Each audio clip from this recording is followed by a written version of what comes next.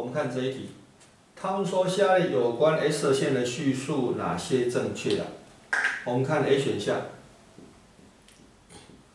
高速运动的电子碰撞金属时会产生 X 射线，这个对啦，哦，就是这个金属嘛，然后你电子的话哈，那个动能很大，撞击那个那个金属板以后的话，它就把它的动能变成电磁波。那这种电磁波能量很高，它的波长范围哈，就是那个埃级的，哦，就是就是原子尺度的，那这个我们就叫做 X 射线。哦，所以呢，这个是对的，哦，A 选项是对的。再我们看呢，B 选项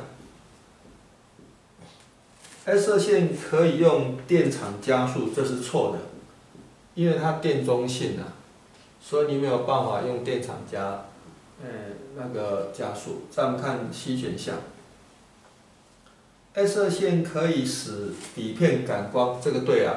哦，我们有可以说，有时候会照那个哈身体哈，会照胸胸部的 X 射线的那个照片嘛。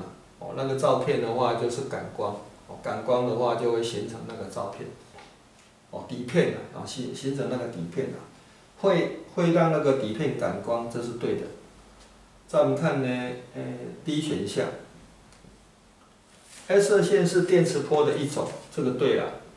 哦，就是短波长的电磁波，哦，极短波长的电磁波了。再我们看呢，E 选项，X 射线不会受到磁场的影响，这个对，啊，因为它不带电，所以大家应该选 A、C、D、E。